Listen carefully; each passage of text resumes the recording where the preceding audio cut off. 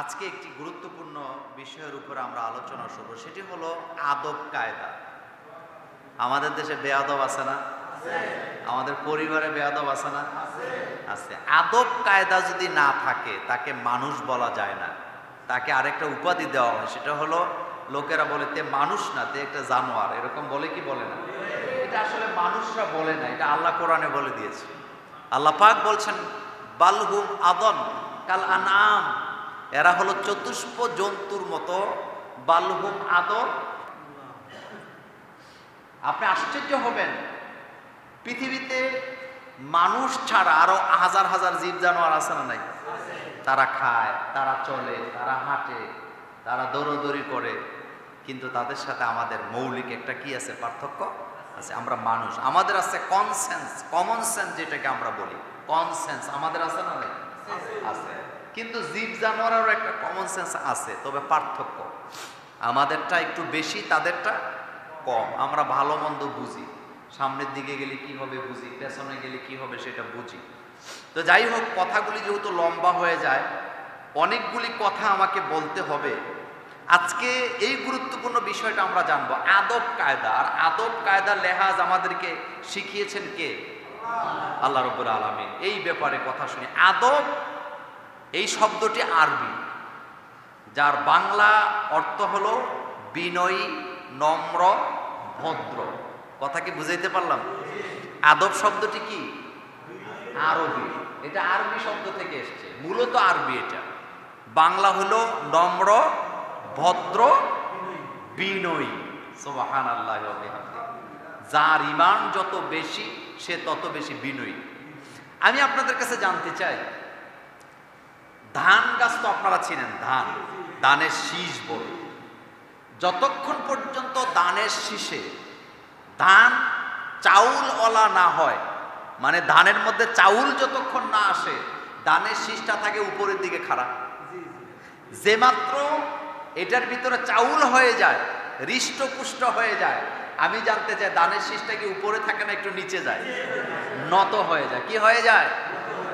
এইভাবে করে আল্লাহ রব্বুল আলমিনের আমাদেরকে আদব কাদা শিখিয়েছেন বিষ্ণবী বলেছেন, আদব তার ভিতরে যত বেশি থাকবে বুঝতে হবে, লোকটা নম্র হয়ে যাবে, ভদ্র হয়ে যাবে। কথায় কথায় কাউকে গালি দিবে না লাভ দিবে না, জাপ দিবে না। সবচেয়ে বড় আদম হলো সে কখনো মানুষের দোষ আর দুর্বলতা খোঁজার চেষ্টা করবে না। একটা লোক ভালো কথা বলতেছে, ভালো মানুষ, কথা বলতেছে ভালো। এখন তার ভালোটা না নিয়ে তার আগে কি দোষ আছে ওইটা খুঁজে। এরকমের লোক আমাদের সমাজে আছে না নাই? নবীজি বলেছেন, আদব, যার নাই তার মধ্যে ইমান নাই।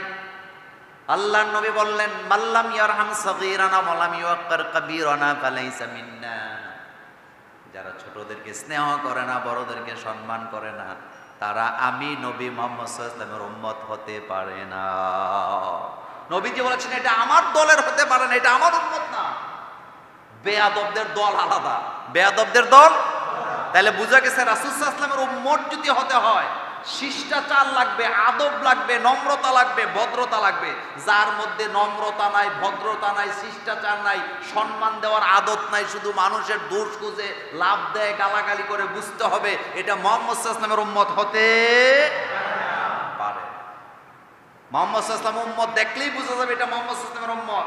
কথার মধ্যে বিনয়ী হবে। কথার মধ্যে কি হবে? বিনয়ী হবে, শুনবে, এরপরে বলবে। কথা কারোরে বলতেই দেয় না, ধমকাইতে থাকে, এরকমের লোক আছে না নাই? ইবনে হাজার আসকালীন রাহিমাউল্লাহ বলেছেন, কথা এবং কাজে এমনভাবে নিজেকে উপস্থাপন করে সমাজে, লোকেরা তার প্রশংসা করে, এটা একটা আদব। সোবাহান আল্লাহ একটা ছেলে খুব ভালো মানুষকে দেখতে সালাম দেয় কাজ করে প্রশংসা পাচক তো নামাজ মসজিদে যায় পড়ে তা লোকেরা বলে না এই ছেলেটা ওর খুব ভালো। এটাই হলো আদব সোবাহান আল্লাহ ইবনে হাজার আসকালানি বলেছেন রাহিমাউল্লাহ একটা ছেলে একটা মেয়ে সমাজে পরিবারের রাষ্ট্রে চলাফেরা করে কাজকর্ম করে যত কাজকর্ম করে লোকেরা তার প্রশংসা করে একটা হাসি দিল লোকেরা তার প্রশংসা করে। এটাই হলো আদব। তার মানে আদবের প্রশংসা হয় বেআদবের কোনো প্রশংসা হয় না। হয় না।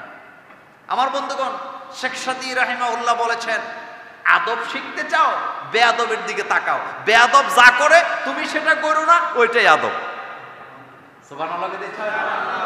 আদব শিখতে হলে কাকে দেখতে হবে?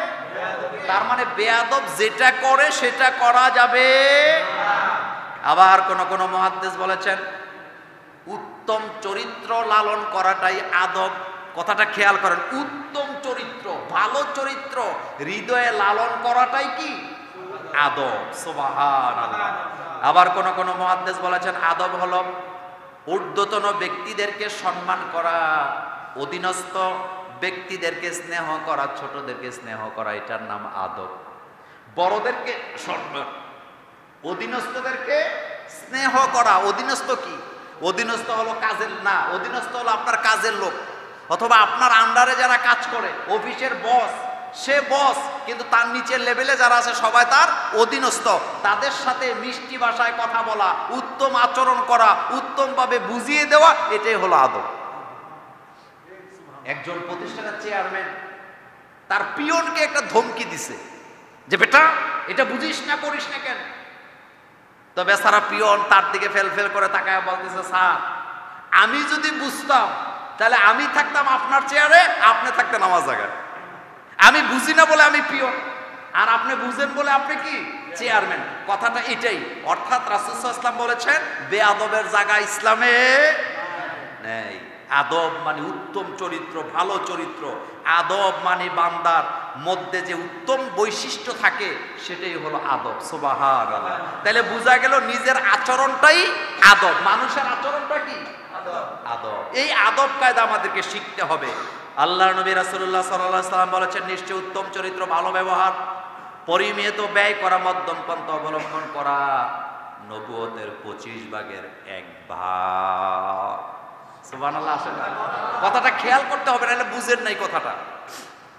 রাসূল ইসলাম বলছেন, যার মধ্যে আদব আছে, উত্তম চরিত্র, ভালো ব্যবহার, পরিমিত ব্যয় করা এবং লাফালাফি, জাফাজাফি না করা, এটা হলো নবুয়তের পঁচিশ ভাগের এক ভাগ। তার মানে নবীরা নবুয়ত পাওয়ার কারণে যেই ভদ্রতা, শিষ্টাচার তাদের মধ্যে আছে, কোনো মানুষ যদি নম্র হয়, ভদ্র হয়, ওনারা ওখান থেকে পঁচিশ ভাগের এক ভাগ পেয়ে গেল। আল্লাহ নবী আরও বলেন, তুমি যদি আদব অন্বেষণ করো, তাহলে আদব যদি তুমি শিখতে চাও, মুরব্বীদেরকে সম্মান করে কথা বলো। কখনো ছোটদেরকে স্নেহের বাইরে রাখবা না, বড়দেরকে সব সময় সম্মান করবা। বাবার বয়সে যারা আছে তাদেরকে সম্মান করে কথা বলবা। আর আমাদের দেশের বাতি যারা চাচার সামনে দাঁড়ায়া দাঁড়ায়া গুল্লিপ সিগারেট খায়, এমন আছে না নাই? চাচারে কিছু মনেই করে না এতে নেতা হচ্ছে আরে বাপরে পালসার গ্যাত গ্যাত করে চালায়। চাচাকে জেডাকে সমাজে দাদাকে কিচ্ছু চায় না তার মতো চেয়ে সে চলে। এরকমের বেয়াদব আমাদের সমাজে আছে না নাই? উমর আনহু বলেছেন কি চমৎকার কথা। তাআদ্দাবু সুম্মা তাআল্লামু। বেটা আগে আদব শিখ তারপরে লেখাপড়া শিখ। সুবহানাল্লাহ বলবেন না? হযরত ওমর ফারুক রাদিয়াল্লাহু তাআলা আনহু ইসলামের কততম খলিফা? কততম? ওমর ফারুক রাদিয়াল্লাহু তাআলা আনহু বলতেছেন, বেটা, আগে আদব শিখো, তারপরে লেখাপড়া শিখো। আর আমাদের দেশে লেখাপড়া শিখতে শিখতে ভার্সিটিতে শেষ কইরা ভার্সিটির শিক্ষক হওয়ার পরও বেয়াদবি করে এমন আছে না নাই? মাঝে মধ্যে ঢাকা ভার্সিটির শিক্ষকদের আচরণ দেখলে কলিজা ছিঁড়ে যেতে চায়। এরকম শিক্ষক আমাদের দেশে আছে না নাই? আমার বন্ধুগণ আমার বন্ধুগণ